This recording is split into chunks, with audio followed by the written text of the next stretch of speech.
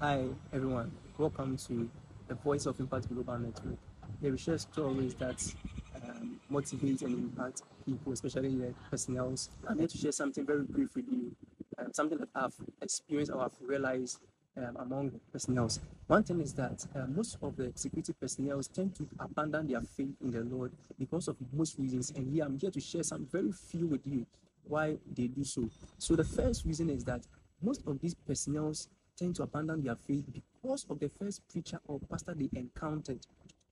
Yes, and the way these pastors or they try to portray certain things to them will, de- will make them uh, determine whether they are false or they are good preachers. And for for some reasons, most of them have encountered bad preachers and they have generalized it that all pastors are the same. And the second reason is that they were being used as money machines. Now, when they get to know that these people are from this personnel or this here, here, they try to demand a whole lot of them of money from them and other stuff, trying to get closer to them, all because of money. And you see, these people are not dummies. They know everything that they are supposed to know. And when they tend to use that um, thing to lure them, they begin to know that, oh, these people are not serious with the God thing that they are doing. So I wouldn't, I wouldn't go to church. They want my money.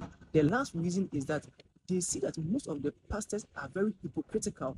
The way they tend to um, um, address them or the way they, they even talk to other people is different. These are some of the things that are pushing most of these persons away from the kingdom. Watch out for other um, episode and an interview where we are going to interview most people to get their concerns on some of these issues. Thank you very much.